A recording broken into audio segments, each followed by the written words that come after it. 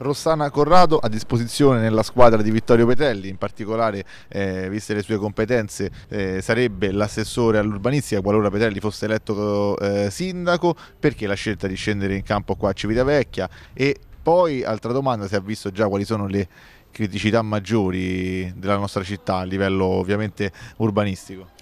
Dunque, io eh, innanzitutto mh, mm, scendo in campo perché me lo chiede Vittorio Preterelli, una persona della quale ho piena fiducia e eh, per senso civico, perché letteralmente, in quanto io non, mi schiero politicamente, sono un tecnico, eh, faccio il mio lavoro in urbanistica da una serie di anni, sia all'interno dell'amministrazione che fuori, ho avuto degli incarichi politici, però ecco, mh, sempre da tecnico, ovviamente porto la mia disciplina all'interno dell'amministrazione e il, il, mio sapere a servizio dell'amministrazione. per quanto riguarda Civitavecchia, eh, qualcuno potrebbe dire ehm, si tratta di una persona che non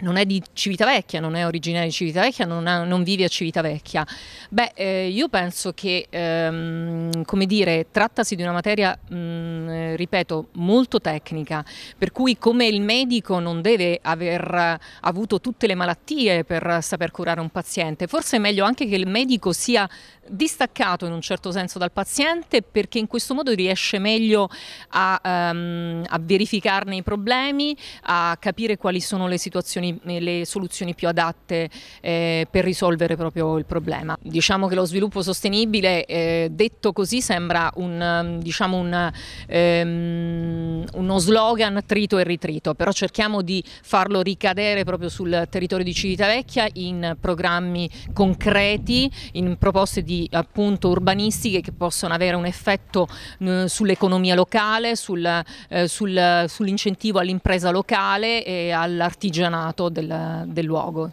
È la volontà soprattutto di fare veramente qualcosa per la cultura di questa città che è stata, cioè per riscoprirla, tante cose che si sono perdute negli anni, tra cui per esempio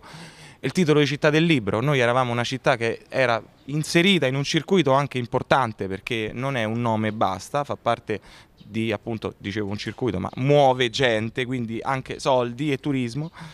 perduto quando noi abbiamo autori che pubblicano ogni sei mesi. Abbiamo poi Tolfa invece che ha questo titolo, ora per carità, ben venga per Tolfa. E questa è una delle tante cose, per esempio quella, ma ripristinare per esempio il venerdì del Traiano, eh, impensabile che un teatro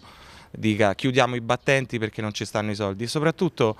dobbiamo cominciare a pensare che siamo nel 2019 e dire che con la cultura non ci si mangia è da barbari e i barbari purtroppo hanno passato il loro tempo dire alle persone come succede ora, vai dall'assessore alla cultura, non ci sono i soldi, ecco fate la stessa cosa allora anche con i vostri figli, quando devono andare a scuola ditegli non c'hai i soldi mamma e papà per mandartici. E te mandiamo direttamente a scavare le pietre perché questo è quello che vogliono ancora prospettarci.